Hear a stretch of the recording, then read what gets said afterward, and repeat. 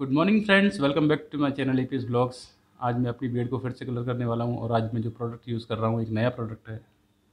वो है ये बियर्ड कलर अर्बन गबरू का बियर्ड कलर नेचुरल और ऑर्गेनिक है, ऐसा इनका मानना है, इनका कहना है। और इसका जो डिब्बा आया है, इसमें आया है ये सत्तर ग्राम का है।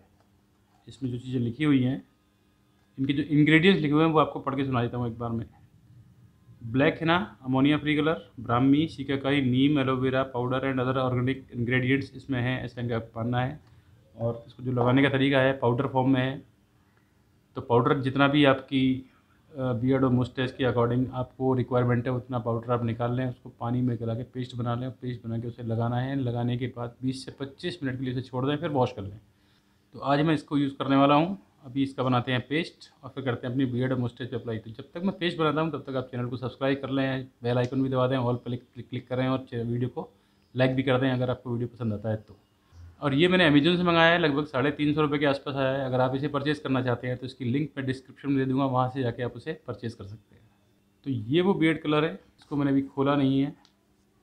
पूरा पैक है, आप देख लीजिए, पूरा फुल पैक है ये। और इसमें जो लिखा हुआ है, इसके इंस्ट्रक्शन में जो लिखा हुआ है कि इसको खोलने के बाद दो महीने के भी तरह से आपको यूज़ करना है।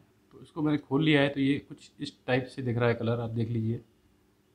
दोस्तों, ये मैंने इस ट्रे में निकाल लिया है, ये कलर और अब इसका बनाते हैं हम पेस्ट पेस्ट बन गया है, इस टाइप का है, और इसकी जो थिकनेस है, वो ऐसी है, इस टाइप की थिकनेस है। बिल्कुल मेहंदी जैसे ही है। तो इसको हम करेंगे अप्लाई अपनी बियड पे और मुस्टेज पे। इस टाइप से। ये ब्रश आया था, इसके साथ में इसी अप्लाई करना है।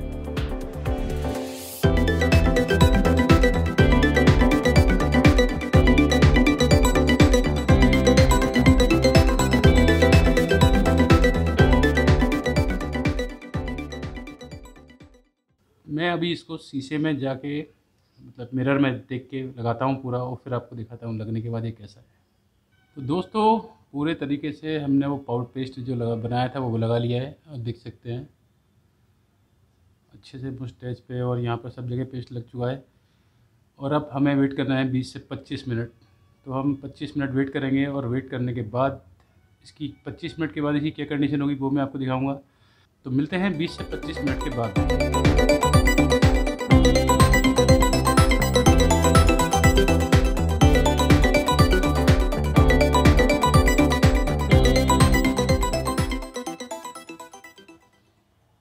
दोस्तों ये रिज़ल्ट है।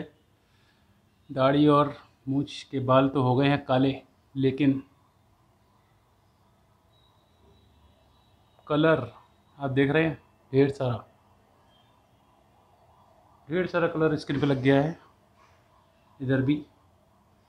और अभी मैंने नॉर्मल वाटर से साफ़ किया है, बिल्कुल कोई साबुन से कुछ नहीं करा है। तो अभी मैं इसको साबुन से अच्छे से धो के आता हूँ, रगड़ के आता हूँ और फिर देखते हैं कलर छूटता है कि नहीं छूटता है। तो दोस्तों, मैंने साबुन से दो, तीन बार अच्छे से रगड़ रगड़ के अपने फेस को वॉश किया है, फिर भी यहाँ पर आपको लाइन दिख ही रही होगी कलर की लाइन और यहाँ पर भी कलर है ढेर सारा। यहाँ पर भी है। ये लाइन भी आप आपको दिख रही होगी। तो पूरे तरीके से कलर रिमूव नहीं हुआ ये, अलग से ही लाइन चमक रही है। तो कुछ दिन फिर से मुझे टोकने वाले लोग कहाँ मुँह कलर करा आए हो? लेकिन ये मुझे एक्सपीरियंस लेना था और आपको दिखाना था कि इसका रिज़ल्ट कैसा है। तो इसका रिज़ल्ट बहुत ही डिसअपॉइंटिंग है, क्योंकि हाँ बाल और मुस्टेज के जो दाढ़ी और मूछ के जो बाल हैं, वो तो सारे काले हो गए हैं।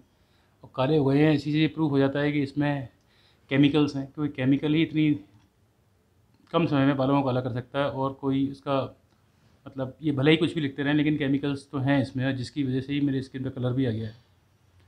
तो बस यही दिखाना था आपको। अगर आप इसे परचेज़ करना चाहें, वैसे तो आप करेंगे नहीं मेरा वीडियो देख के, लेकिन अगर फिर भी आप इसे परचेज़ करना चाहें तो लिंक डिस्क्रिप्शन में है। और इसका रिज़ल्ट मेरी नज़र में डिसअपॉइंटिंग है। तो बस यही दिखाना था आज के वीडियो में। मिलते हैं जल्दी ही नेक्स्ट वीडियो में। तब तक के लिए टाटा।